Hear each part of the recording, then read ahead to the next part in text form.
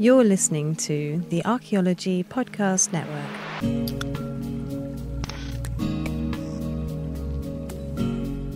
Welcome to Heritage Voices, episode 12, with the Mashantucket Pequot THPO. And today, this is Jessica Yaquinto, and I'll be your host.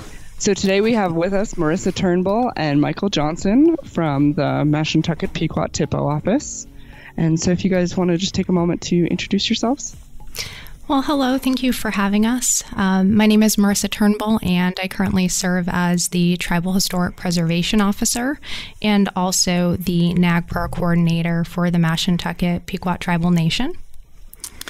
And my name is Michael Kicking Bear Johnson, um, also a member of the Mashantucket Pequot Tribal Nation, and um, recently appointed, I would say, Deputy THPO, working under Marissa, and I'm learning an awful lot from her, and uh, also a fellow podcaster. Yeah. So what's the the name of your podcast again? It's Native Opinion, right? Native Opinion at nativeopinion.com. Yep. Okay. All right. So your tribe has has a pretty interesting history. So I know that I'm sure that we could talk about that for a really long time, but would you mind just really briefly summing it up? I, would say, for the most part, um, the Mashantucket Pequot Tribal Nation is is quite unique in comparison to the history, especially in relation to federal Indian policy. Um, and so, a lot of our policies um, do not necessarily match what we find for the average federal state tribal relationships. Um, with pre contact, we find that our history is a lot different, especially from those in the Midwest and the West. And so a lot of our land policies, allotment, um, creation of reservation, um, things of that nature really happened many years prior to um, when it was experienced by the rest of the tribal nations. Originally, we were state recognized, we were federally recognized in um, the 80s. Um, and a lot of development um, on the land based side started to you know happen after that directly after federal recognition um, our land base was expanded um, and from that point we went into a lot of development projects um, and we continue to build and kind of change from from that point forward. Mm-hmm. And so we should probably mention real quick that the Pequots are in Connecticut. So this is an yes. East Coast tribe. So this is our first East Coast tribe that we're talking to. Oh, great. And yeah, so definitely it'll be interesting to talk a little bit about some of those those differences there.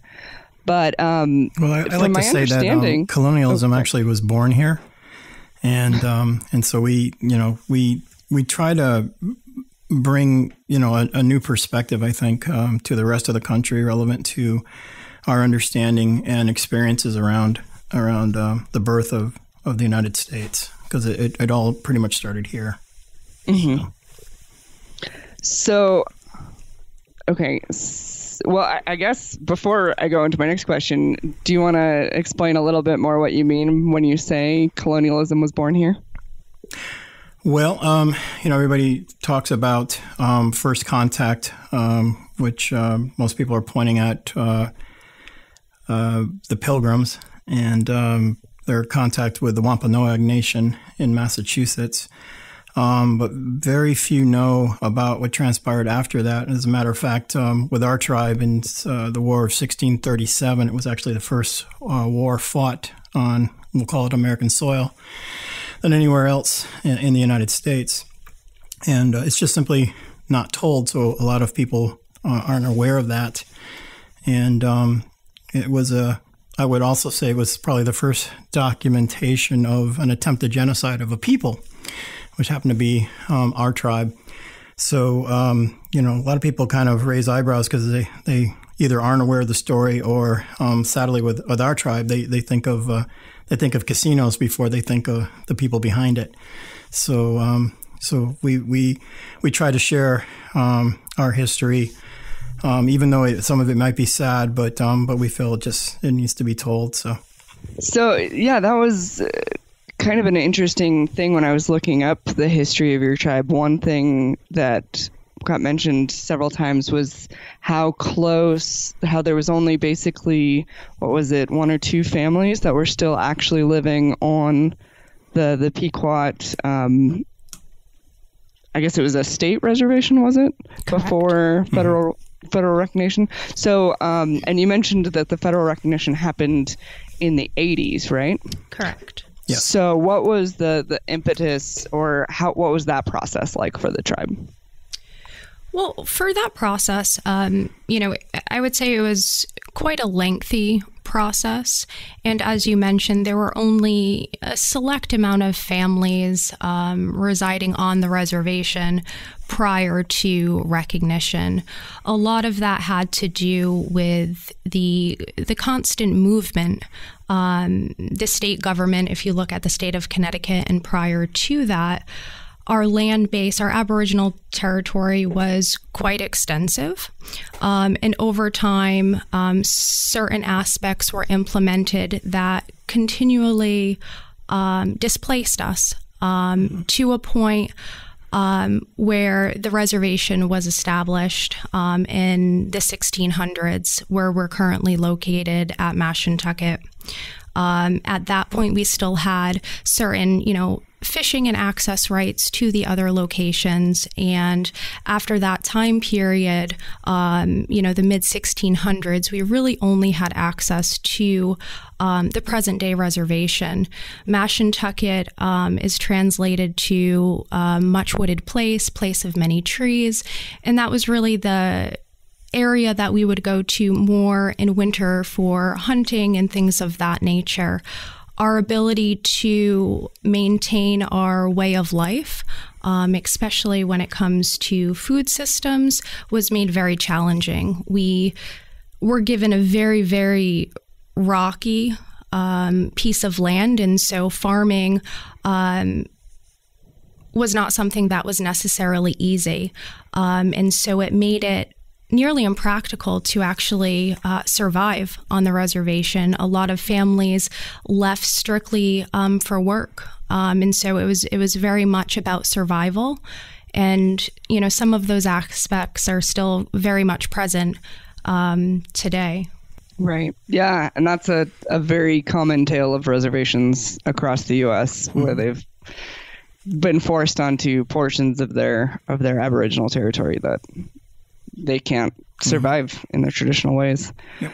Um, so I want to talk a little bit about that, about how you were then able to make your reservation economically viable. For that process, um, again, several families residing on the reservation at that point, and it it was around the time period of the American Indian movement where we start to see smaller um, tribal communities, not just of Mashantucket, but the regional tribes of this area Narragansett, Mohegan, Pequot, um, Wampanoag. Um, coming together in smaller um, communities off of their reservations. So, um, areas that are close to where we live, not cities, but larger towns. And at that point, people started to come together to really organize to better understand Native rights um, and what we could do um, as a group um, and individually. And this was a process that there were several tribes on the East Coast going through a federal recognition process. At that point, Mashantucket Pequots made the decision to come back home, even though we knew or they knew how challenging it was going to be, not necessarily having a job, um, having to find homes, to build homes, funding um, for homes on the reservation, and really coming together to figure out what we could do to be self-sustainable. And at that point, a lot, a lot of smaller projects um, started on the reservation.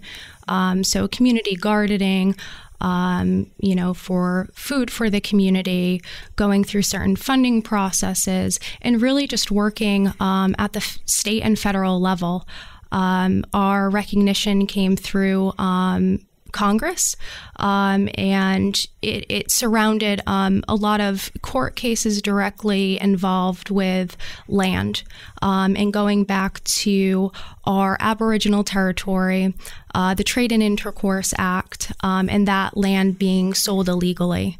Um, and so, really, the bulk of um, this consisted of Mashantuckets making the decision to come back home um, and to also organize and work with the state and federal government to um, have some of our land back um, so that we could remain as a community. Mm-hmm. And so, real quick, just before we move forward, just because I'm curious, has there been any efforts? You mentioned the community garden and I know that um, for a lot of tribes right now, there's there's this big food sovereignty movement, yeah. mm-hmm. and so I was just wondering whether or not you were incorporating any of that into your your community garden efforts. Well, the community garden that originally started, um, it again was um, quite extensive. Um, you know, looking back through the history of that. Currently, today we do have um, a community garden, which is in our um, community housing area. Um, and that was started several years ago. And it's a great opportunity for tribal youth to come together with other community members to learn the process of planting, of growing. We have a community um, daycare center on the reservation for our tribal students, um, and they also partake in you know smaller community garden um, initiatives. Um, as well. And so that's that's something that's restarting at this time. Um, there's a lot of um, kind of as you mentioned, we're trying to go more into agriculture, and in that field um, and presenting that opportunity. It's something that we have traditionally done, um, and to involve the youth in something that um, you know will be beneficial um, for them moving forward. Okay, so I think we're at a good stopping point for our first break already. I know it's quick. Okay. um, so we will be right back in a moment. This network is supported by our listeners. You can become a supporting member by going to archpodnet.com slash members and signing up. As a supporting member, you have access to high-quality downloads of each show and a discount at our future online store and access to show hosts on a members-only Slack team. For professional members, we'll have training shows and other special content offered throughout the year. Once again, go to archpodnet.com slash members to support the network and get some great extras and swag in the process. That's archpodnet.com slash members. So we are back and I just since we since you just brought this up, I want to touch a little bit more on it. You mentioned that you have a daycare for your kids and I'm just curious whether or not you incorporate any sort of of cultural learning into this daycare or anything like that? That is a very good question. We've had um, the daycare center probably for a little over 20 years. And so it's gone through various transitions, and um, we have more attendance, I would say. Um, certain transitions as of recently, several years ago, um, the management has changed to a non tribal management team, which is very interesting. Um, hmm. But we have made it so that it always has um, cultural curriculum implemented and it, it varies um, depending on the time period, but we have always had our cultural resources department, for instance, teaching classes at the daycare center. Mm-hmm. Lang- Pequot language classes would be a great example. Um, mm-hmm. These students probably start at two months old um, and going to kindergarten level. Um, that's yep. where the daycare stops. But they have Pequot language courses several times a week, um, cultural classes, kind of beading, dancing, um, and, you know, a lot of language, I would say, language dance, um, things of that nature. Mm-hmm. Yeah, and is that something that continues once they're past that age? Like, is there anything that's offered for school age kids or adults or or elderly people? Anything? Um, there, there is through. Our, I, I would. Oh, I'm sorry, I didn't mean to step on you. There, um, probably through our again our cultural department, um, uh, kind of um, has more. We'll call it uh, teens and and adult um, programming you know, in, in that sense. And uh, that's pretty much continuous um, all year long, and um, mm-hmm. including even uh, like botany studies and things like that. Because again, we're, we're a Eastern Woodland uh, tribe, and so um, we like to uh, immerse ourselves, um, including botany. Very cool.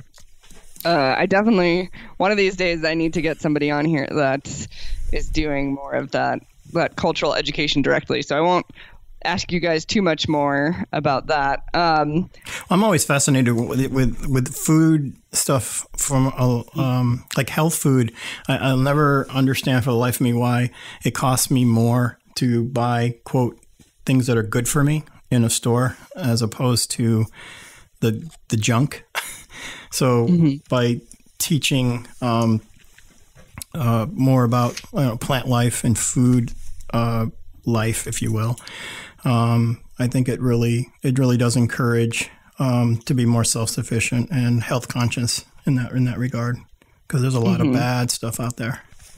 Yeah, well, and food is just one of those things that it's just so basic to culture. Yeah, yep. you know what I mean. That's like one of the main ways that people really connect. So it just seems yeah. like such a natural place to start. Mm-hmm. But one other um, area that I would like to point out, just because it's it's fascinating and um, just a wonderful experience that the tribe has participated in for several years for the students, um, and it's a cultural exchange program mm. with our students here. Um, probably around 10 to 17 that age range and it's a exchange program where um, tribal students from Point Lay in Alaska come here um, for an extended period of time to stay on the reservation, to um, learn from tribal members here, and to also interact with our youth. And it's been several years now, and so the relationships between our tribal youth and the Point Lay um, youth um, has been a wonderful experience. So that is something where our tribal youth um, this year um, are going back out to Alaska um, to you know learn um, you know what they're doing there, and they have a really you know great experience, kind of learning whaling and and other initiatives. So subsistence living, I always stumble on that word. I apologize. Is, is so it's it's so ingrained. It's part of uh, Alaskan culture um, that it's it's a great experience because what we do share is um, you know the sea, and mm-hmm. and um, and so it, it's good for them to have have those cultural exchanges to talk about um, the similarities as well as obviously observing and understanding what some of the differences are too. But um, but yeah, it's it's a it's a great program for them. Mm-hmm. Wow, yeah, that's super interesting. Those are two obviously very different kinds of places, and I'm sure that's yeah. it'd be really interesting to hear what they what they have to say about the what the similarities and the the differences they notice are. Completely, definitely. Hmm. So obviously, one of one of the big challenges that your tribe has been facing. So you've since federal recognition, you've developed a casino and that casino has been turning this reservation land that um, was economically not very sustainable for your tribe into something that is is much more sustainable. But with that has has come quite a few challenges, and specifically this challenge that you mentioned of people fighting your tribe's very right to exist, basically. Mm-hmm. So, would you mind talking a little bit about that experience and um, what what your tribe has done to to face that? Um, I think that, um, and I'm talking more from myself personally. Um, I don't think we can necessarily talk on behalf of the nation per se, but um, mm-hmm um, with the exception, of course, of, of, you know our office and our and our areas um, of understanding. But um, at the heart of uh, fear is, in my opinion, lack of education, and um, and so and also quite quite frankly, as I as we opened with, um, it's a form of colonialism that um, that tribes across the country continue to uh, to to fight because it was a, it was a, it's a matter of understanding first and foremost that it's happening to us um, and what those forms are. I think the most basic example might be um, the fight over Tree, and um, you know people using imagery of uh, of our culture in uh, ways that uh, that either we don't like or they never ask permission to. You know, sport teams mm-hmm. is, is, one example of that. But when we're, but what what I find interesting is that when um, you come from nothing and you grow into something. Uh, either through uh, you know economic means, and economic means, by the way, can can also be like land development. It doesn't have to necessarily be tied to a, a gaming or a casino operation. Mm-hmm. Um, suddenly, um, there seems to be a shift in, uh, well, those people over there don't deserve that. And um, and it's it's sad. Um, initially, and I'm not saying everybody is like that, but um, but sadly, um, it just seems like there's a there's a shift when people um, are perceived to become prosperous. So we've experienced uh, some of that here, and more more more recently, was, is a campaign that we have ongoing um, to save uh, jobs because, uh, like like everyone, we, uh, we, we took an enormous hit with the economy um, that never really fully recovered since 9/11, mm-hmm. and um, and also um, more casino development. So um, you know, Connecticut recognized the potential of job loss to other states and um, has been working with our tribe as well as the Mohegan tribe, who were actually um, uh, related uh, specifically. We were all one, one tribe at one point. And um, they have, uh, the Connecticut has at least uh, cleared the path to allow a third gaming operation because the Mohegans have a gaming operation in the state as well. Hmm. But the backlash to some degree um, from anti casino groups um, doesn't stop, sadly, with just their concerns about things that are relevant, such as traffic control, um, the uh, the stress that can happen with a with a smaller town uh, when resources because if you're increasing employment that's more people coming into a state and that you know that's that's a good thing on the surface but the the residual is the schools are busier for example and those right. resources are being uh, consumed at a greater rate than most budgets can assume. And of course, when they ask for more money, um, the towns and or states start to waffle, which I always find interesting as well. Um, another case in point might be what something I tracked personally when um, shortly about I'd say fifth or sixth year that that our casino was open. Um, I went to give a talk at a high school in uh, Hartford, Connecticut, and noticed that the lights were off. There was no air conditioning. And I knew for a fact that the state had received, you know, in excess of $600 million that year.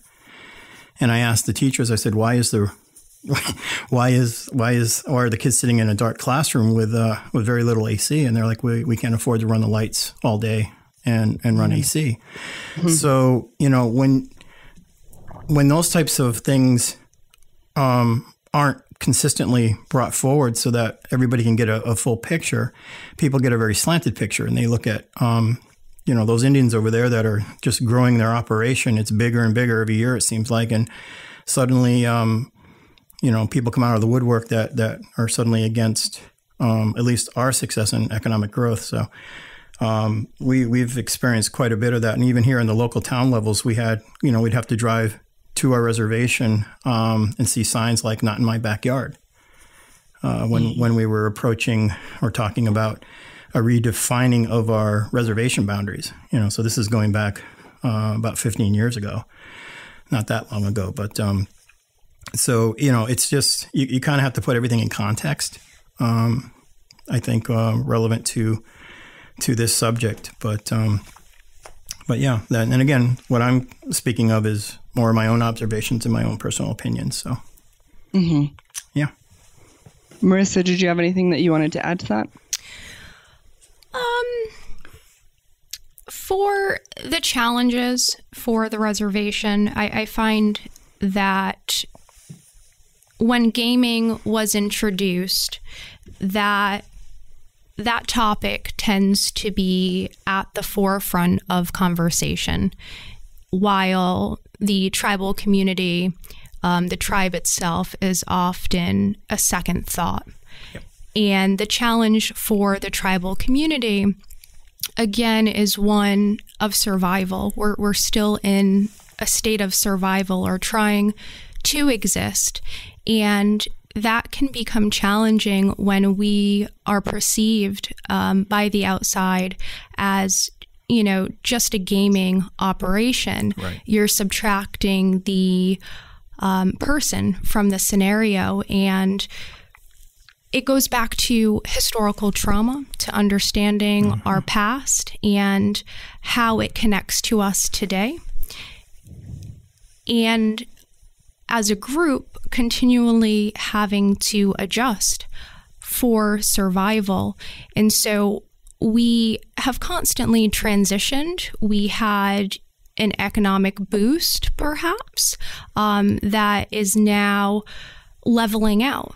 Um, and so there are challenging challenges in the sense of zoning, uh, regulations, um, const- constitutional reformation, for instance, making sure that everything fits the current situation, which is constantly changing. And so the human aspect um, has been a challenge, I would say, for for the community, for the community not necessarily being recognized um, as a people, um, and it's not just um, economic development. It's not just gaming. Mm-hmm. The human side of our experience, what we're experiencing today, and making sure that what we have in place matches what we need in order to um, make changes um, moving forward the transition from state recognition to federal recognition. Um, again, it goes back to certain regulations, what's applicable. Um, protecting our rights, um, and so that that transition we we've had to make adjustments again um, throughout that transition, and being in a new place today, um, we're again continuing to make those adjustments in in the best way possible. But um, it's certainly challenging when um, there was a law available, and now um, we're working with what we have, the resources that we have, and ultimately our people being the biggest resource for the community. Hmm. The other thing I think I want to add as well is um, from an economic point of view, sort of, um, our tribe was engaged in uh, what we called Indio, uh, Indian bingo for the first 10 years before a casino was even considered. Um, and there was no intention really to grow that. Um, and as a matter of fact, here's a fun fact for everybody. Um, our tribal elders uh, saw the wisdom to um, actually vote down Foxwoods Resort Casino three times before it was um, actually, uh, we'll call phase one approved. Um, you know, for uh, you know a number of reasons. Um, but so you have to kind of put things in context where, you know, we had tried doing um, hydroponic growth um, for lettuce and other types of vegetables as a business model. There was a um, a, uh, pizza restaurant called the Owl's Nest uh, that we ran for several years uh, prior to even doing bingo. You know, so these are all enterprises through the 70s um, as well as you know a few other things, um, raising pigs, all, all kinds of different things, um, just to just to sustain the community at the time. And then decided to engage in uh, in bingo. So um, most people, I think, just sort of assume we decided to go straight into casino gaming, um, but that that actually isn't the case. Yeah, that's that's interesting. Kind of what both of you are, are talking about about that when when you're successful economically, that human piece um, kind of gets lost to everybody around you. Mm-hmm. And it seems like that's kind of a a common trend, I would say, I guess, a- across the country, where when people are faced with with casino tribes that are successful, that um, basically it's either oh you've lost your culture, you're um, selling out, Yeah. or um, or or more of what it sounds like you were facing, which was oh you're not a real Indian, you shouldn't have been able to do this in the first place. Correct. Um, so, I guess, do you have any advice or what kind of of response have you guys had when facing people saying to you, "Oh, you're not real Indians"? How do you how do you respond to that? How do you come back from that? Well, it's Not to not to throw out a giant emotional question right there. Yeah, no, it's it's something that growing up you learn to deal with because you have to. Um, It's has been a constant theme, a constant question that you are asked as a tribal person. I would say um, we have a unique history, and we receive those questions very often. Um, my past experience, I was an educator for a time period at the Mashantucket Pequot Museum and Research Center. And so my involvement with school groups, school teachers, and other individuals, we would receive that question, or I would bring them through a tour and explain the history, um, everything about tribal people. And at the end, we would receive that question Do Pequots still exist? Um, and so I would say, I am Mashantucket Pequot. I am standing here. I am a tribal person. And kind of go back and review history. There seems to be a gap right after federal recognition where individuals seem to get lost, where they have a particular image of what you have to look like uh, in order to be Native American, in order to be Pequot. And so, better explaining our history and where mixed ancestry, I guess you could say, um, plays a part. Um, understanding um, after contact, um, when a lot of our men were going away to find jobs. They were whaling, um, they were leaving the reservation, and it would leave women and children on the reservation and the elderly. And a lot of times, what when the overseers um, would come to the reservation, that's all they're seeing. They're seeing small numbers of individuals and they're seeing the elderly and children and women. And when the men are off at sea for that extended period of time, a lot of them actually either stayed at port. Perhaps they just did not come back, um, lost at sea, whatever the situation may be. Pequot women really held everything down on the reservation. And at that point, you would see non tribal individuals coming onto the reservation and being part of the family in a sense.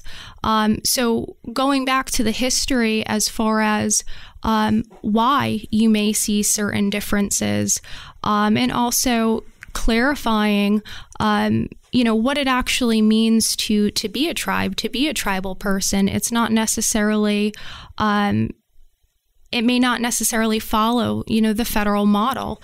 Um, it, it may not be about blood quantum. It's not something that traditionally, um, you know, we came up with or that we applied. Um, and so, really, education being um, the biggest piece. Um, but even with that, I, I, find that it's it's a constant topic.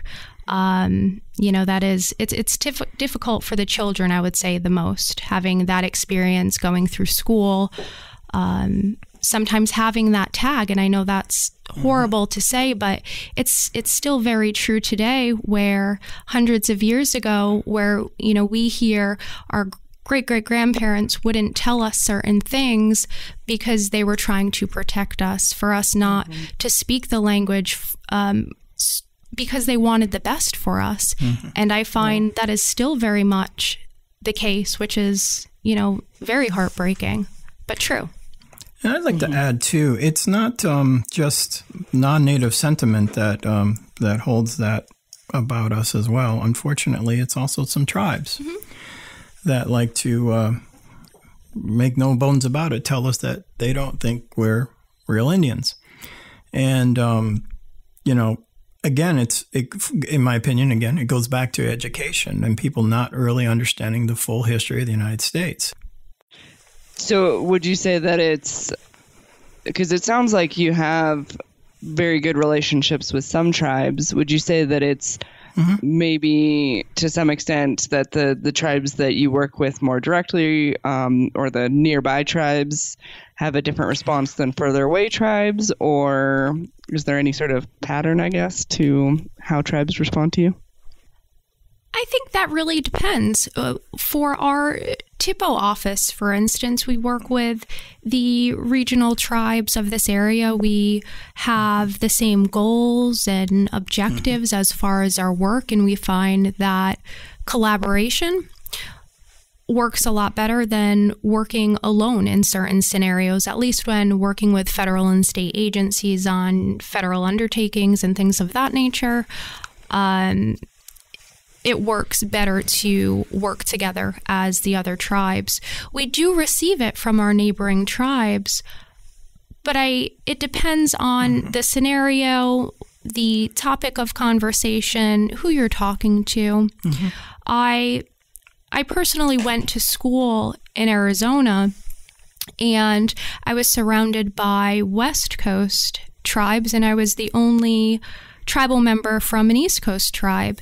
And I had a few experiences where individuals were honestly and genuinely confused.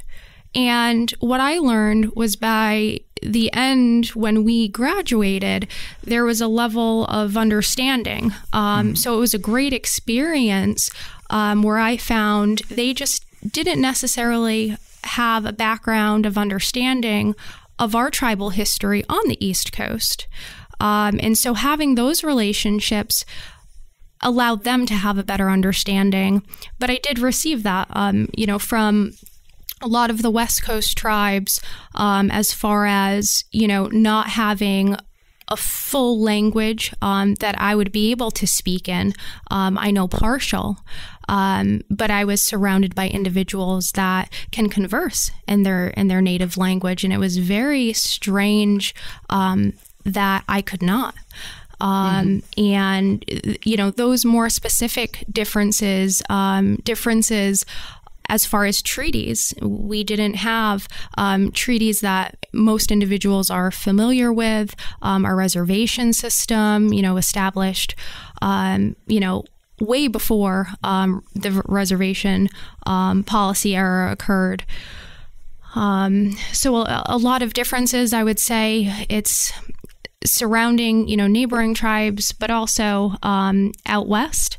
But again, you know, education um, and understanding, and I found that was very helpful. Um, you know, for when I did reside in Arizona. Mm-hmm. Yeah, there there definitely seems to be a bit of an East Coast yeah. tribes. Um, have you know they they had contact so early and so they were um, wiped out or intermixed or whatever so mm-hmm. early mm-hmm. that they're basically gone but i mean come on i new mexico tribes have been in contact yeah. with the spanish since mm-hmm. you know what 1500s exactly um, mm-hmm.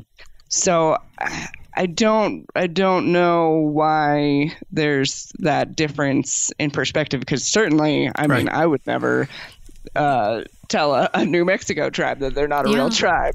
Yeah, that's exactly. for sure. Um, so yeah, I'm I'm not quite sure. So, mm-hmm. do you mind if I share a piece of audio with you because it, it does speak to um, this subject as well? And then sure I, I, let's um, take a quick break. Sure. And then um, let's start with it if that's okay. Yeah no problem. All right. Okay, so we're going to take our next break and we'll be right back.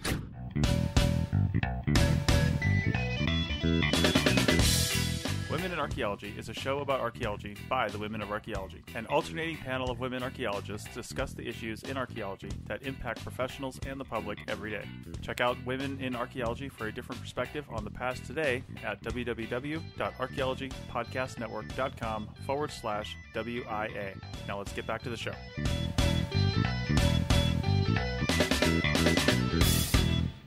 All right, and we are back. So Michael's going to start us out with some audio. Do you want to tell us a little bit about that? I do. Um, so I'm going to get a little political, and um, I'm going to play a piece of audio for you guys.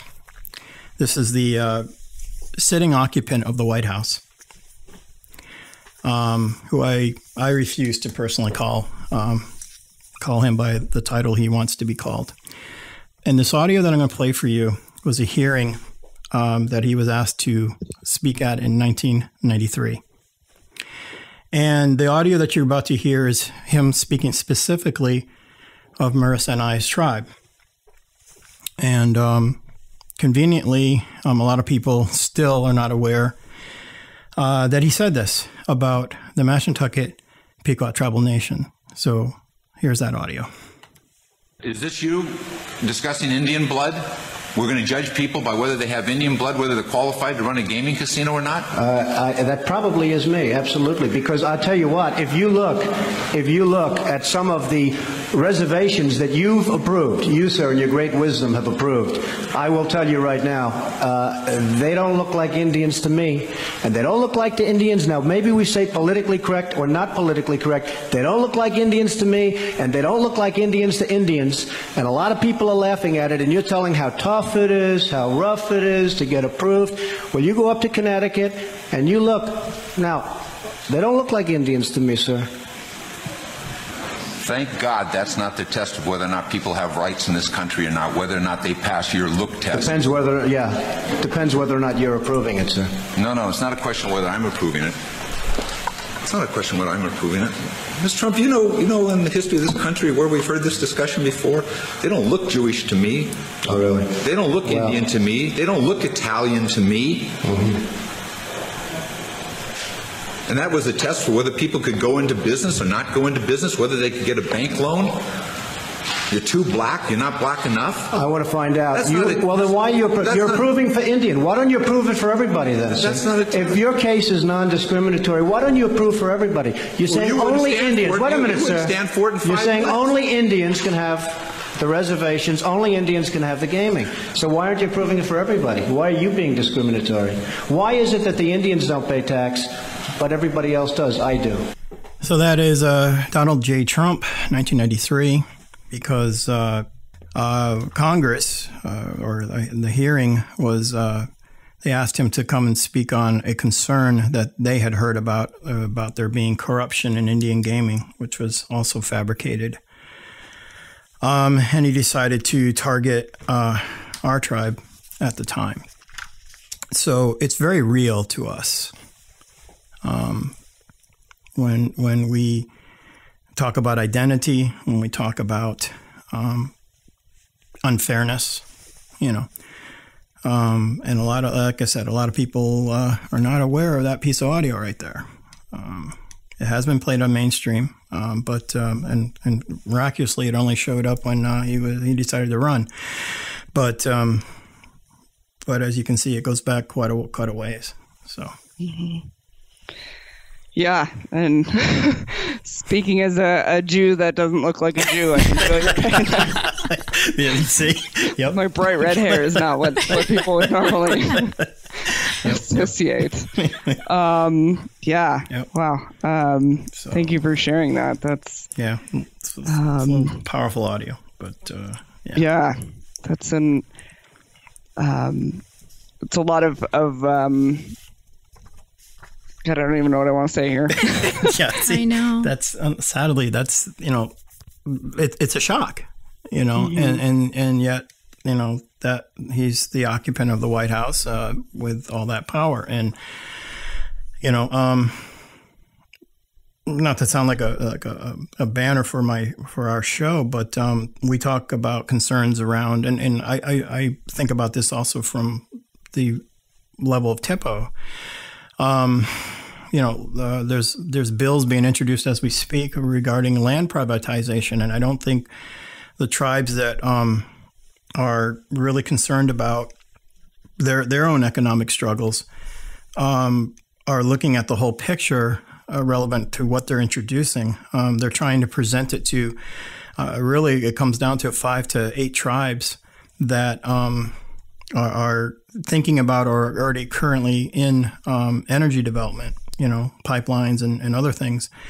Um, but the uh, Republican administration is talking about uh, dismantling uh, the IRA or the uh, Indian Reorganization Act and um, most of uh, Native American sovereignty is uh, is is fundamentally founded in, in that act. And we know it's not it's not to benefit tribes the way they're trying to present it. They they they're saying tribes will become more economically uh, stronger because the tribes can do more with their land without government uh, intervention and. I'm just shaking my head, going, no, um, especially when you hear a piece of audio like that, that this is the individual that is presumably championing that. Mm-hmm. So yeah. you kind of have to put things together and put things in perspective. Um, you know, uh, I'm just kind of shaking my head going, no, because, you know, we, we all know what happened with the Dakota Access Pipeline. That's still an ongoing uh, legal issues at this point. But um, there's a lot of people that want to protect lands and water and resources for the for the right reasons. And um, you know, these folks sadly are only looking at being able to extract oil out of the ground and and otherwise destroy the planet as opposed to you know strengthening it. So yeah, and I think this and tying back to some of the things you said earlier, there's some interesting links and challenges there where you know, for example, as a casino tribe or like our neighbors here, the the Southern Ute tribe, who um, make their make their you know they're economically sustainable based on on their oil and gas, mm. and how you know the pushback that that um, those two types of tribes get, um, and then on the the other hand of things, the the sovereignty side of things. Well, is it is it really sovereignty if you're not able to um, to do what you want with your land that, that that's um, or your mm-hmm. yeah so it's it's interesting and i i mean i guess what i would say is that um, between that and between deciding who gets to be a tribe and, and things like that in in my opinion I definitely shouldn't be the one making those decisions. It shouldn't be um, coming from an outsider. It should be coming from within Indian country. Okay, so I want to make sure that we get to some of this before we, we finish up here. So first of all, let's let's take it back a step and talk a little bit about the work that you do as THPOs and what you're hoping to accomplish within your tribe as, as a THPO. Right now, we actually have a plethora of projects and initiatives taking place. Overall, the THPO office um, similar to any THPO office under the federal model, is going to mimic the job functions of a state historic preservation officer or those that you elect to administer. And so that really consists of directing and overseeing all archaeological investigations on tribal land, primarily. And the bulk portion of the work, as of right now at least, is interacting with the federal and um, state agencies, more so federal agencies on the federal undertakings to ensure that projects are absent of historic properties. And I am not trained as an archaeologist, and so we have archaeologists, um, you know, research um, components, of course, um, to the job functions to better determine land use practices of the past, what we were doing, where, um, the complete extent of our um, Aboriginal territory on our part, on the tribal part, we look specifically to traditional cultural properties, sacred sites, ceremonial sites, and that is a process that we jointly do with other tribes um, to survey um, the area of potential effect for federal projects, and and that has been wonderful to see. Um, it is something that, you know, really just started several years ago where we're able to nominate um, ceremonial sites um, under the National Register for Protection. And, you know, a decade ago, that was not in existence. And so we're making steps to be able to better preserve and protect are areas of significance, not only for us, but cultural patrimony in general, um, for even the tribes that are state recognized that don't really have a voice or have a muted voice in a sense in the federal process to make sure that if something is significant to tribal people in this area, for instance, or a state that doesn't have federally recognized tribes, but we're aware that they have um, state recognized tribes that have um, a ceremonial site or a significant site, an archaeological site in an area um, that needs to at least be discussed during development to figure out any um, changes that can be made to better protect that area. So we have a lot of off reservation projects, and again, our our ability um, is a little different. Um, our authority, of course, is is different on reservation, on tribal trust um, land versus just within our, our Aboriginal territory we're trying to work as well on the local level. Um, certain things, unless they receive federal involvement, we're not necessarily aware of what is going on. And so, working with the local historical commissions and things of that nature have been helping as far as developing um, MOUs or MOAs um, so that tribes are part of the planning process. I find that consultation, um, overall communication, um, reaching out to tribes so that they can participate in the process is, is very important. And it's oftentimes lacking even with something that screams um, tribal. You know, you would you would have to speak to that tribal community um, if if you're doing um, a certain project that you know directly involves their history, and so we've really been focused on um, internally what we can implement as far as regulations and getting information out to the public, to the CRM firms, to the archaeologists, historical commissions, um, those, you know, just working with the federal agencies that don't necessarily understand um, sovereignty and uh, indigenous rights and different terminology. Um, you know, trying to fit within a federal model is, is sometimes difficult for us because the language that's being used, um, it's not language necessarily that we connect with or that we define in, in that same sense. Um, and so mm-hmm. we're working to you know, better merge um, under a federal model, but at the same time implementing things that you know speak to who we are and and what we um, you know actually need.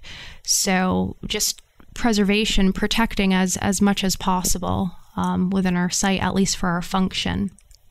So, do you have any long term goals of what you would ultimately like to do or like to see happen within your program? Absolutely. Again, there are certain things that we work on with the neighboring tribes. Um, right now, we're doing we actually submitted a multiple property listing to the National Register just recently, um, and that's being awaited um, by the keeper for their signature. And so, right now, again, we're, we're going through the legal process of working with the towns and historical commissions um, in surveying those properties.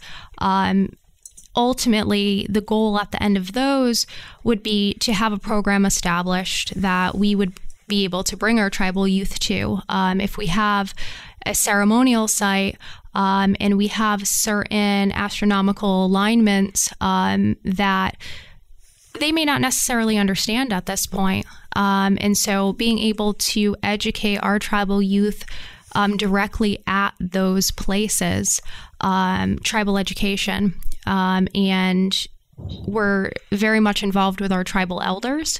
Um, and so having those programs established once we're done with the kind of legal legal background work um, with the towns and federal agencies, um, there are a lot of opportunities to train our youth in specific fields um, archaeology, indigenous archaeology. That would be one um, that we would love to have, um, you know, in the future. And so, working with the tribal youth, we work with them in the summer um, in our department and just making sure that you know when we're gone um, that they can just pick up the ball and, and continue going with it um, so we're really doing a lot of the legwork um, you know, hopefully to be able to, to pass off, to create a, a strong foundation and process that, you know, anyone um, would be able to follow. One of our, I would say, two more items, I would say, um, you know, immediate future, we have as we discussed, you know, the few families that did reside on the reservation, some of the um, oldest homes, there's there's two specifically um, on the reservation, and it definitely sheds light on what the original homes on the reservation look like.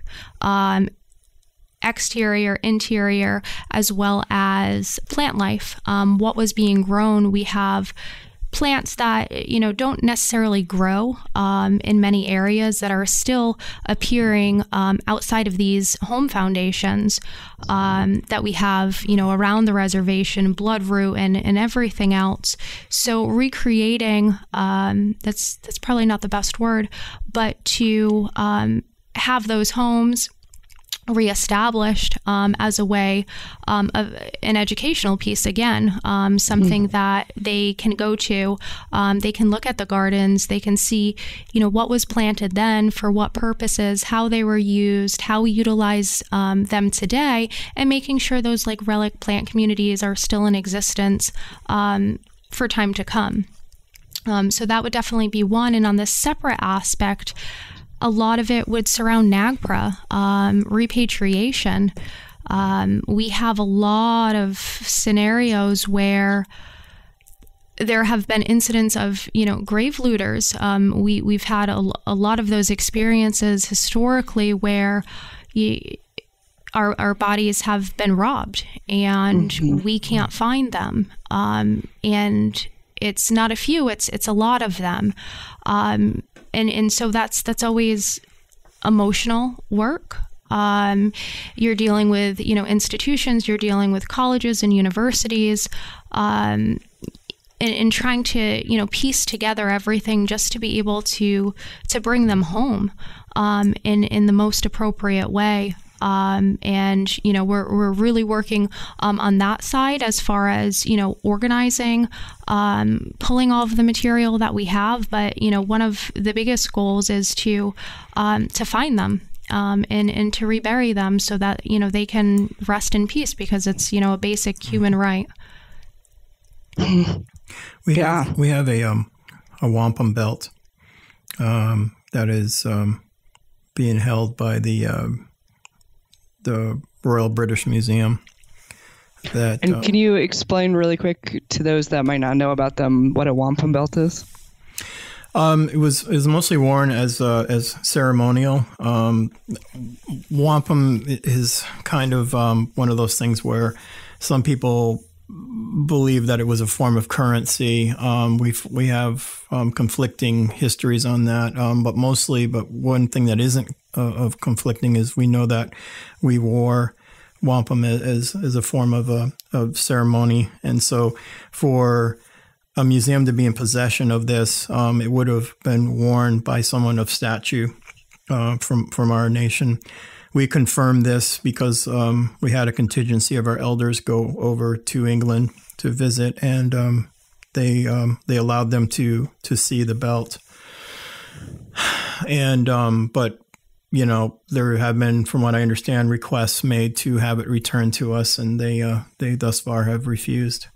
Um, and I, th- and I think part of what bothers us, and um, you know, we've we've, as Marissa pointed out, you know, in talking with other other THPOs, when requests like that are made, um, one of the resounding uh, answers we we hear is, "Well, we're protecting it for you," and right. you know, we're like, "Well, no one can protect something better than you know the place it came from originally."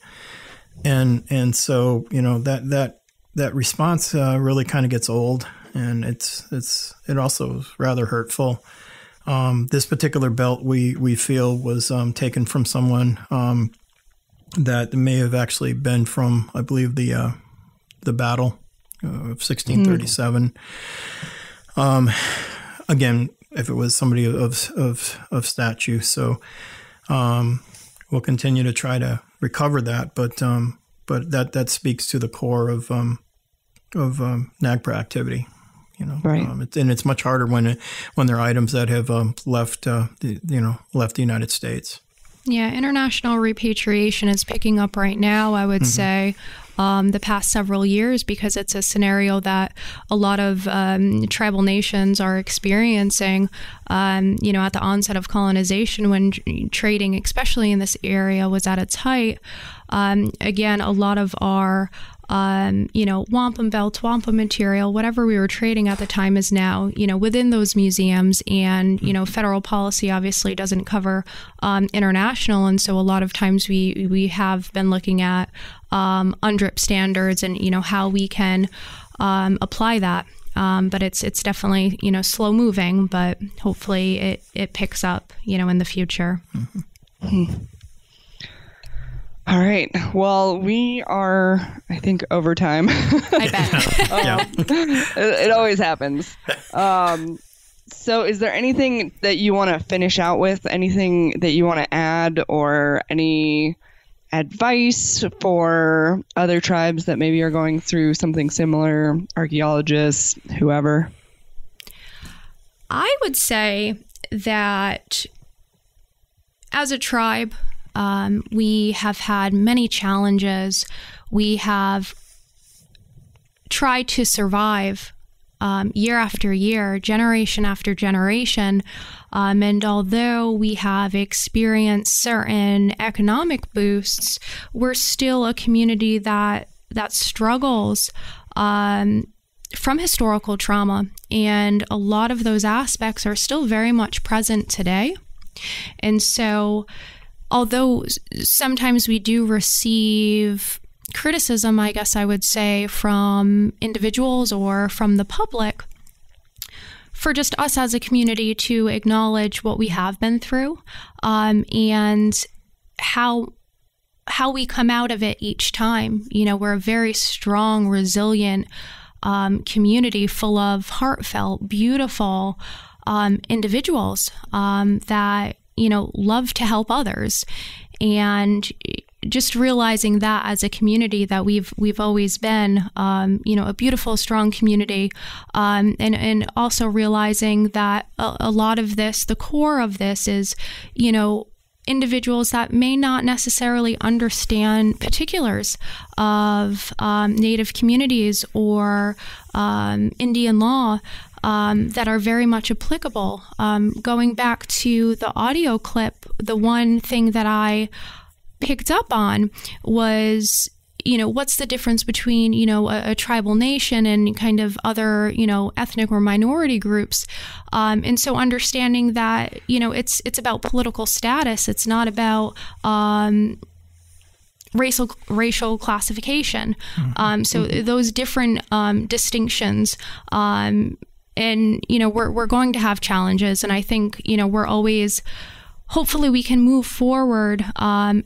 out of our survival mode to to actually um, you know enjoy everything that we've worked hard for.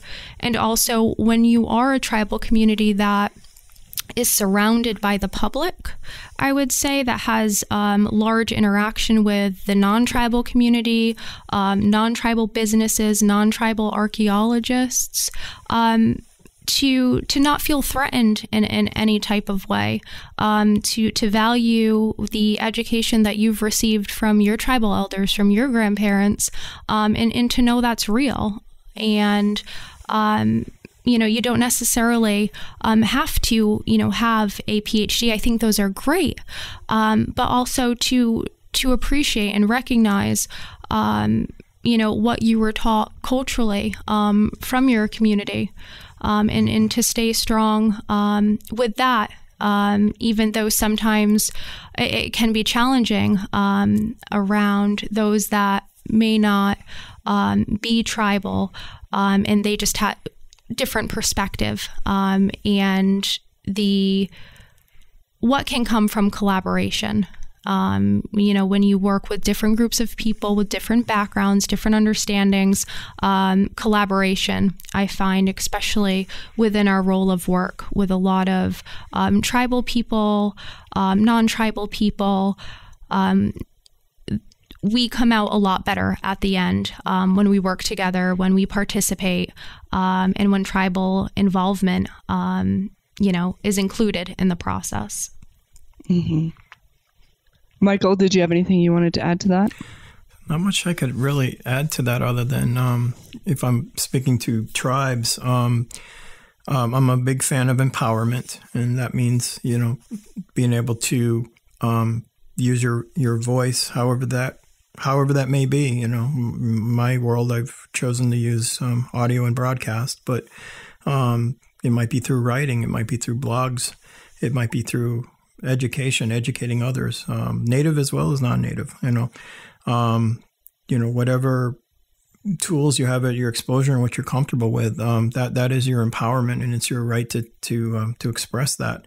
Um, you know, often I talk about um, the need of uh, tribal communities to to define their own narratives as opposed to um, you know, letting it be defined for them. And, and sometimes that just simply comes out of, you know, others' lack of knowledge and understanding that, you know, that again, native and non native alike. So as Marissa said, it's always better to collaborate. It's always better to work together to understand these, these, uh, these things collectively. Um, and, and, the last thing I, I, usually say is also framing, um, uh, framing a, a, a, thing is important. So, for example, there's a difference between an issue and a problem.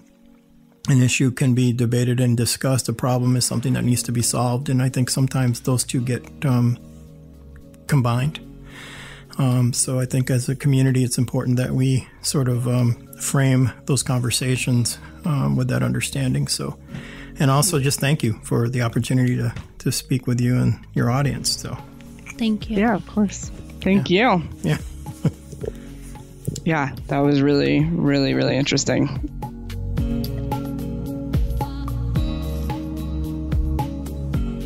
Thanks for listening to the Heritage Voices podcast.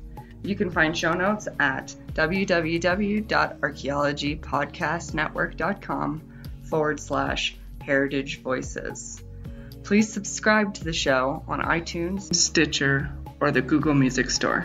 Also, if you like the show, please share with your friends or write us a review. If you have any questions, comments, or show suggestions, please reach out to me at jessica at livingheritageanthropology.org or you can find me on Facebook through Living Heritage Anthropology or on Twitter at Living Heritage A. As always, thank you to Lyle Balenquah and Jason Nez for their collaboration on our incredible logo.